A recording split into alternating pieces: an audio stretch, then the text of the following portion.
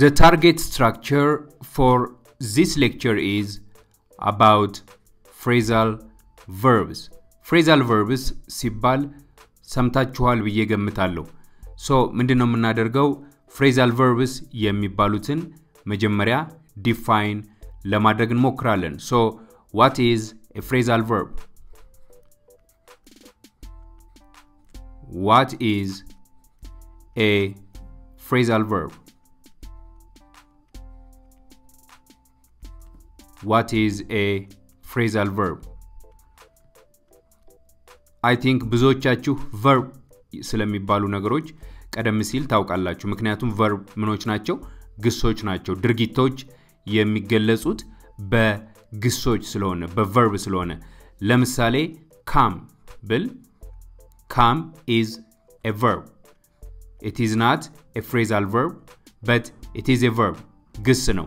ለምን? ምክንያቱም የመምጣትን ድርጊት የሚገልጽ ቃል ስለሆነ። ኦኬ ሶ ፍሬዛል ቨርብ የሚለውን እዚህ ጋር ዴፊኔሽኑን እናስቀምጥ። A phrasal verb is a verb, okay? A phrasal verb is a phrasal verb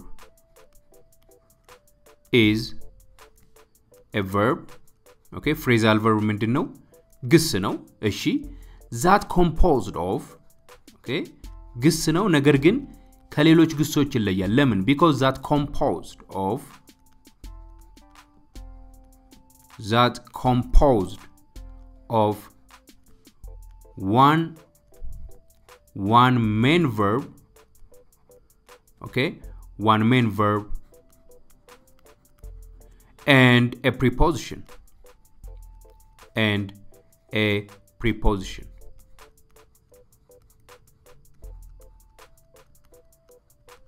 Right አሁን phrasal verb ምንድነው is a verb ግስ ነው።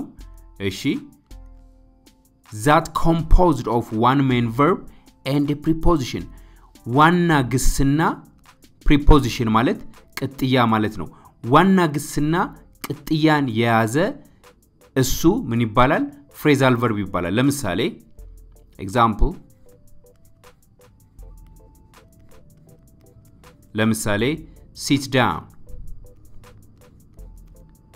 ሲት ዳውን okay this is a phrasal verb d o w n okay this is a phrasal verb why because it contain one main verb and a preposition down this is a phrasal verb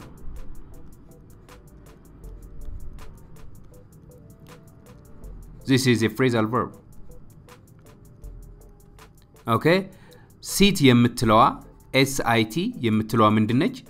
this is verb ግስ ነች። Okay? ቅድም እዛ ላይ come የሚል verb እንዳመጣሁት ሁሉ ልክ sit this is verb verb dictionary ላይ ስትመለከቱ ወይም አንዳንድ መጽሐፍት ላይ እንደዚህ በቅንፍ ውስጥ V ተብሎ ሲጻፍ ትመለከታላችሁ። ሶ ሲት ኢዝ ቨርብ ሃው አባውት ዳውን ሃው አባውት ዳውን ዳውን ኢዝ ኤ ፕሪፖዚሽን ኦኬ ኤ ፕሪፖዚሽን So, phrasal verb is a verb that composed of one main verb and a preposition. And main verb እና ፕሪፖዚሽንን የያዘ ግስ እሱ ምን ይባላል? ፍሬዛል ቨርብ በመባል ይጠራል ማለት ነው። እንግዲህ በንግግር ውስጥ በጣም በርካታ ፍሬዛል ቨርቦች አሉ። ንግግራችን የበለጠ አድቫንስ እንዲሆን ፍሬዛል ቨርቦችን በንግግራችን ማስገባት ይጠበቅብናል ማለት ነው። Alright, so uh, so whenever you see this structure, so whenever you see, whenever, whenever you see the above structure, okay, sit, down, main verb, and preposition. So that structure is probably a phrasal verb. Whenever you see this structure,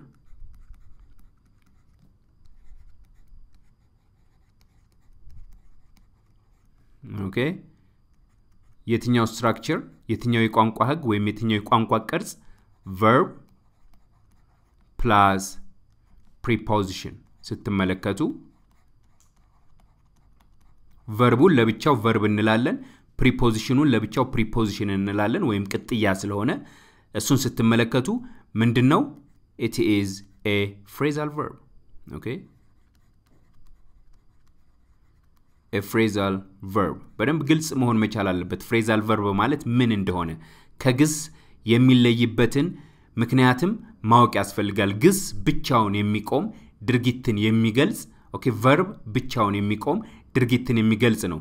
phrasal verb ግን ከሌሎች preposition ኦች ወይም ቅጥያዎች ጋር አብሮ የሚሄድ የግስ አይነት ነው። so in English there are a lot of phrasal verbs። በእንግሊዝኛ ቋንቋ ውስጥ በጣም በርካታ phrasal verbs አሉ። Okay in English in english there are. There are a lot of a lot of phrasal verbs. Phrasal verbs. በጣም በርካታ phrasal verbs አሉ። በማ? በእንግሊዝኛ ቋንቋ ውስጥ። ለምሳሌ አሁን የተወሰኑትን እንዘርዝር ብንል okay ስታንድ አፕ ቀላሉን በመዘርዘር እንሞክር ስታንድ አፕ ኦኬ ዚስ ኢዝ ዋን ፍሬዛል ቨርብ ጎ አውት ዚስ ኢዝ አናዘር ፍሬዛል ቨርብ ኦኬ ሉክ አፕ ዚስ ኢዝ ኦልሶ አናዘር ፍሬዛል ቨርብ ሉክ ዳውን ሉክ ዳውን ዚስ ኢዝ አናዘር ፍሬዛል ቨርብ እነዚህን ቀላሎቹን ፍሬዛል ቨርቦች ብንመለከት ሁሉም ምን አላቸው ግስና preposition አላቸው። ለምሳሌ ግሱን ለዩ preposition ኡን ለዩ የሚባል ጥያቄ ብትጠየቁ ይሄ በቀይ ነጠብጣብ የማሰምርበት እነሱ ምኖች ናቸው? ግስ ናቸው verbs ናቸው። Okay verbs ናቸው። እንደገና ደግሞ ይሄ በነጭ የማሰምርበት ደግሞ ከስር ምንድን ነው preposition በመባል ይጠራል ማለት ነው። ስለዚህ structure ኡ የ phrasal verb structure verb plus ምንድን ነው preposition ነው ማለት ነው። እንግዲህ ትርጉማቸውን ለማየት ብትሞክሩ stand up okay ቁም ወይም ቁሚ go out ውጣ ወይም ደግሞ ውጪ okay look up። Look up ማለት ይሄ የ phrasal verb አይነት በጣም በርካታ ትርጉሞች አሉት። ግን በአብዛኛው ሰዎች ምን የሚለውን ትርጉም ለመግለጽ ነው የሚጠቀሙበት improve ወይም recover የሚለውን ለመግለጽ ነው። Improve መሻሻል ወይም ሪከቨር ኦኬ የሚለው ለምሳሌ ለምሳሌ አንድ አረፍተ ነገር ብንመለከት ፋይናሊ ቲንግስ አር ሉኪንግ አፕ ፎር ሚ ቢል አንድ ሰው ፋይናሊ ቲንግስ ቲንግስ አር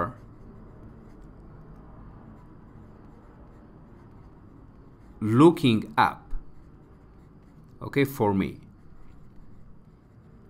አንድ ሰው እንደዚህ ቢል ወይም እንደዚህ ብሎ አረፍተ ነገር ቢመሰርት ይሄ phrasal verb እዚህ ጋር የማሰምርበት looking up የሚለው phrasal verb የሚገልጸው ምንድን ነው improve የሚለውን ትርጉም የሚገልጽ ነው ማለት ነው። Finally በስተመጨረሻ things ነገሮች እየተሻሻሉልኝ መጡ።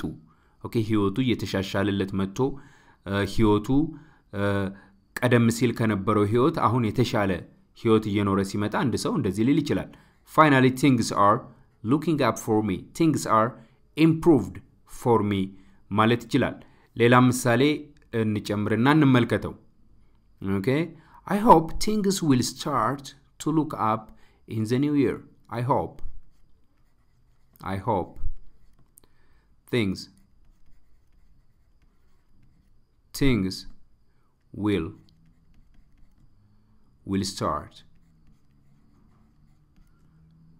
to to look up okay each onage to look up in the new year in the new year okay በአዲሱ ዓመት ነገሮች ምን እያሉ ይመጣሉ እየተሻሻሉ ይመጣሉ። Okay? I hope things will start ነገሮች will improve in the new year ከአዲስ ዓመት ጀምሮ ወይ አዲስ ስራ ሊጀምር ይችላል። ከአዲስ ዓመት ጀምሮ ወይ አዲስ አገር ሊቀይር ይችላል። So I hope things will start to look up in the new year okay ሌላው መመልከት ያለብን phrasal verb is look down okay? Look down የሚለው phrasal verb look የሚለው look የሚለው verb ራሱን የቻለ verb ነው። Down የሚለው ደግሞ preposition ራሱን የቻለ preposition ነው።